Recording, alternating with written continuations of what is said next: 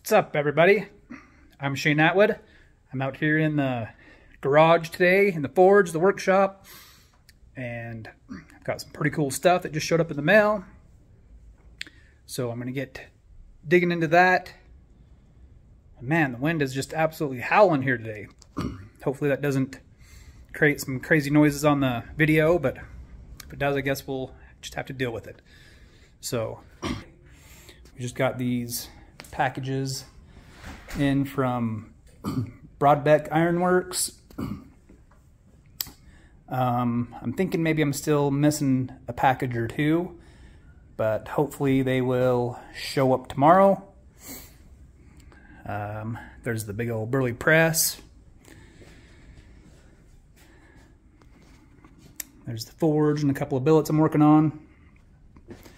But anyway, the uh, purpose of this video is to get into these packages and see what we have in there. So, okay, so here I've got a few boxes opened up. This is just the Brodbeck belt package. Some gnarly incinerator belts in there. I'm excited to try those out. Lots of other belts. This box has just tons of parts and pieces and bearings and wheels and rollers and all sorts of cool stuff that I'm not really sure where it all goes, but I guess we'll have to figure that out. It's for the Integral Platen hardware kit for it. those things.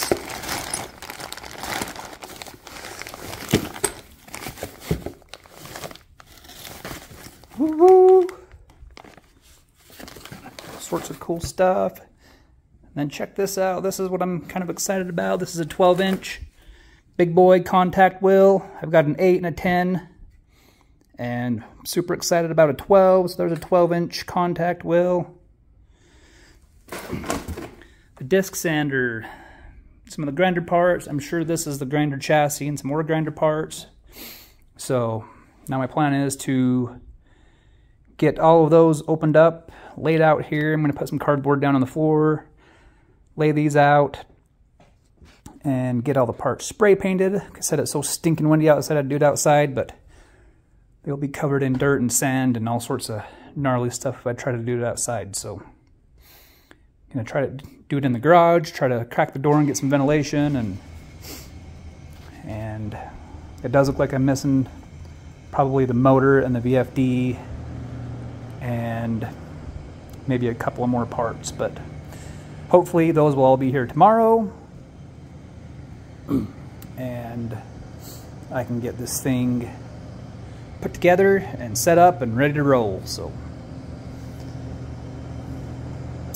I will uh, yeah be back in a minute with everything spread out and maybe we'll start spray painting some stuff. Here is pretty much all of the main frame pieces laid out.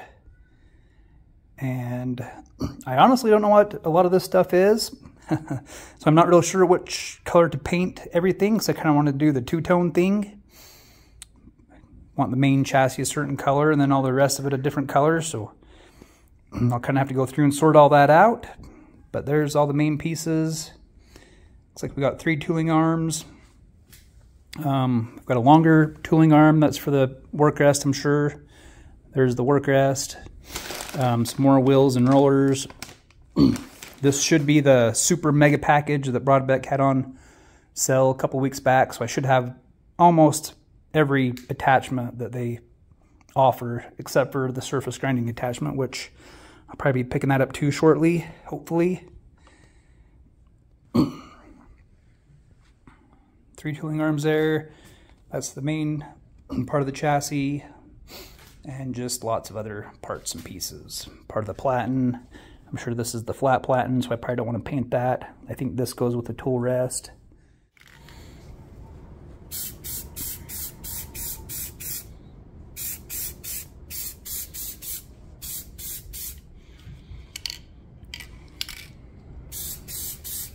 there's kind of the second coat on those pieces.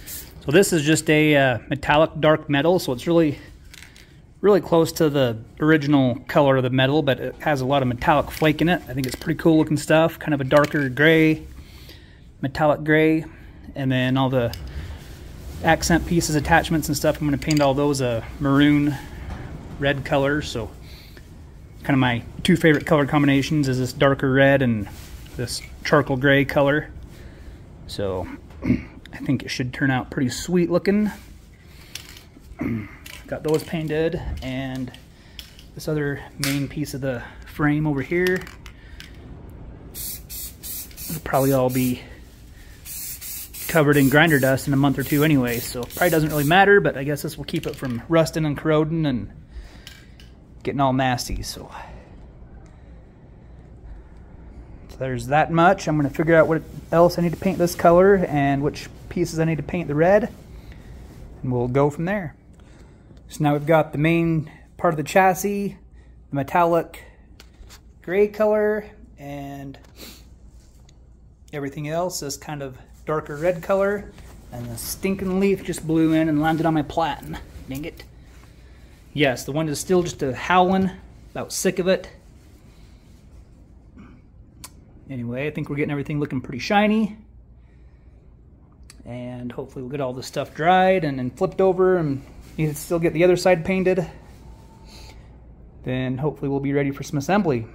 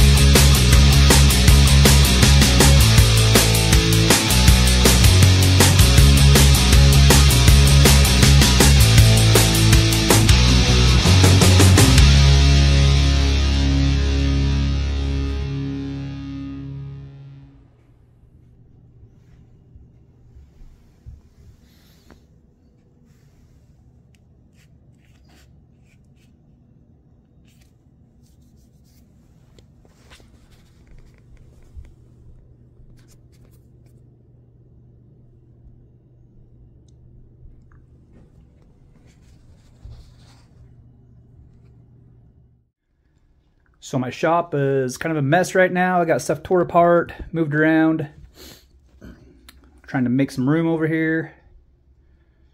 Boy, it doesn't look like much room on this video, but anyway. The uh, flat granite stone used to be kind of right here on a diagonal. Got it slid over here. This is kind of my glue up area, kind of made it a little smaller. Gonna start using this over here more as a glue up area also for handles and such. The disc grinder, that's basically what I use that for. 99% of the time is just the disc grinder. I don't really use the belt on it. Used to be sitting here, got it slid over. This grinder used to be here, right in front of this dust catcher. Got it slid over. Now we've got this room here. And more mess over here. Hopefully we'll get that organized here in a bit. Anyway, gonna have a surprise for what's going here. So I'm gonna get that moved in here and I'll be back. We'll check it out. Okay, so we've got that set in here now. Still needs the motor mounted to it and the wiring done, but this just might be the sexiest Brodbeck on the planet. like that color, the dark charcoal gray, got a little metallic flake in it, red accents, looks pretty good.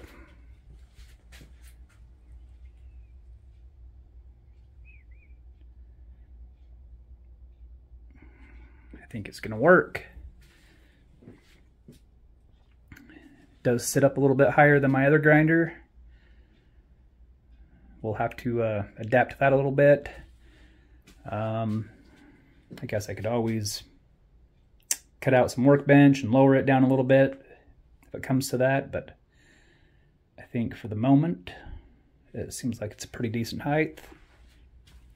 Doesn't seem too super high, but we will try it out, see how it goes. So we're gonna get the motor mounted on there, get things wired up and bolted down and we'll check it out.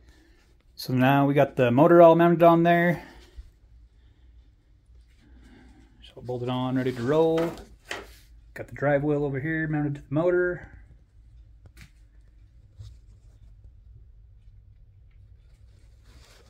Man, that's a good looking motor too. It's got some chrome on there, stainless steel, all polished and shined up. This thing looks pretty dang good, but I keep saying what a good looking grinder it is, but it's about to get dirty dusty grimy.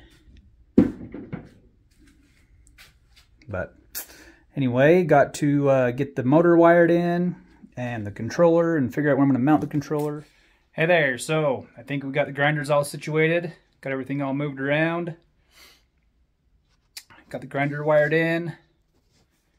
And I had to redo some electrical back here behind the belts. Had to put in a new outlet. Another uh, 240 volt, 20 amp circuit for the new grinder.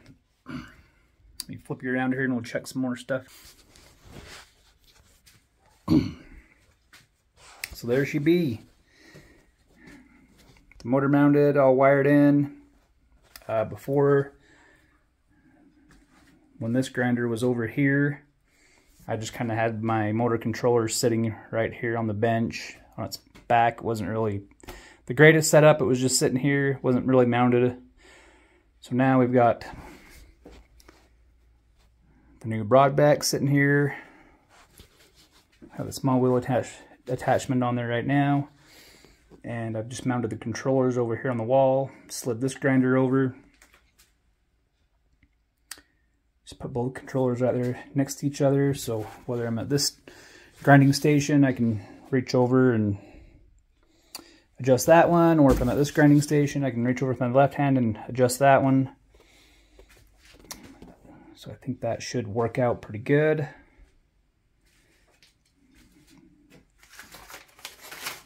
The only concern I really have with the controllers being there is when this grinder is flipped into horizontal mode, um, it's not really looking like it too bad with the, the small wheel on it, but when the flat platen is on or the big grinding wheel, it looks like it might throw a lot of crap back this way. And we'll just kind of have to keep an eye on that and watch that and see how it works. And if I need to move that controller, I can build a little stand for it and, I don't know, move it over here or something. But I think for now, that is going to work out pretty sweet. Um, so now my other little small problem is, is I have the tool arm that's on this grinder now. I have this tool arm. I have another tool arm down there on this shelf that's full of parts and pieces and attachments for this grinder. And the Brodbeck came with these other tool arms, workstation, plus all these attachments. And yes, there's still a mess right here, but so I think I'm going to do is build a tool arm, kind of a tree thing back here so I can have it here. I can slide all these tool arms in, hold all the flat platen. The, this is a 12 inch wheel, so there's a 12 inch wheel. I got a 10 inch wheel under there and an 8 inch wheel. Um, hopefully I can build something here to slide all the tool arms in and they can just kind of hang out over there. For the old grinder, I just kind of slid everything down there on that shelf and it's kind of a pain in the butt to get to them and it's not organized very well. So, sweet. Um, let me, uh, bear with me for just a second. Let me tighten up this tool arm and we will flip this bad boy on. Just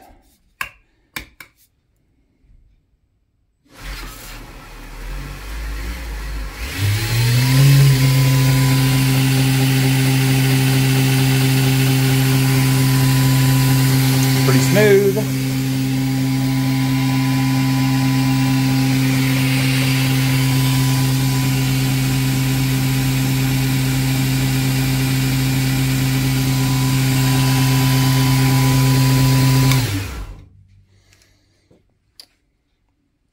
I like small wheel attachment. It's pretty sweet. It's got that belt pulled back so you can get into tighter spaces and that's going to work out pretty nice. So yeah, super happy so far. Super excited to start grinding on some blades. And like I've said before, dang, that's a good looking grinder. Good looking paint job. Other than I kind of jacked it up right there a little bit on that piece, but oh well. I like the red and the gray, looks good. Chrome motor. so yeah, there's the new grinding bench, new grinding stations. Shop vac to suck up some dust and now I should get the rest of my shop cleaned, so there you go. Thanks for checking out the video, appreciate it.